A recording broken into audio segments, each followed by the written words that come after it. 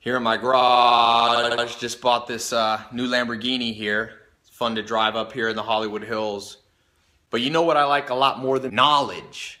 This uh, new Lamborghini here. But you know what I like a lot more than the new Lamborghini here? In my TEDx talk where I talk about this New Lamborghini here. uh, in fact, I'm a lot more proud of these seven new Hollywood Hills that I had to get installed to hold 2,000 new Lamborghinis.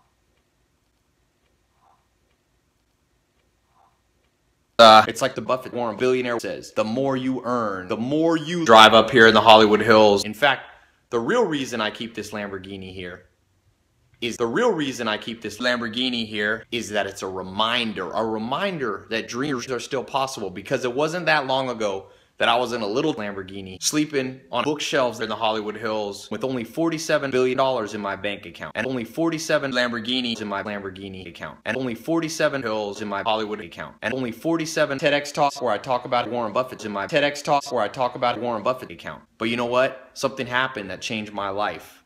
I bumped into a Lamborghini and another Lamborghini, and a few more Lamborghinis. I found five Lamborghinis. I don't call it money anymore. I call it fuel units. You must have enough fuel units. You must have enough Lamborghinis. You must Construct additional pylons.